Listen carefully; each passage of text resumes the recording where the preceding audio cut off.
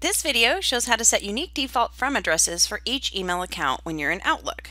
So as you can see here, I have Outlook open. If I do new email, the new email is going to come up and it shows from this account right here, which makes sense.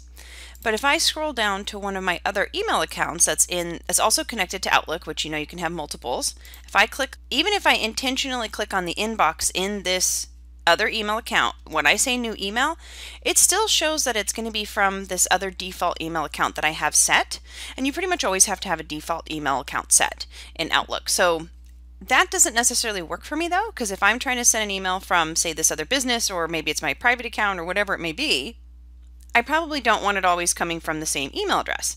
So luckily there's a way to change this. So if you go to File and you say Options, and then you click on the Mail tab, you'll see there's many tabs here and there's a lot of stuff in here, there's lots of settings.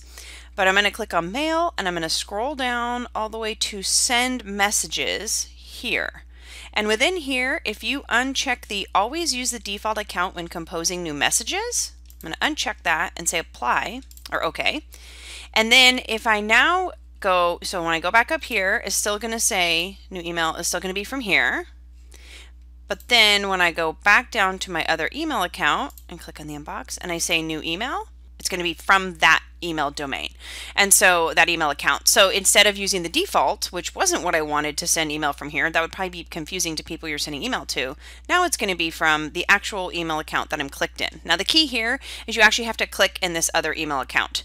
Because if I'm up here, how does it how would Outlook know that I wanted to use this one down here? So, but the nice thing is if you click on some other email account that you have attached to Outlook, you can then actually be sending directly from it without having to choose from here. You can always click on this from button and choose from the drop down of which email you would like to use. So if you want the default to be to stay like for, no matter where you've clicked, you always want it to be from the same place, you can do that and then just change it here. But most of the time if you're working within this email box, you would probably want to send an email from that email box and this is how you would do that.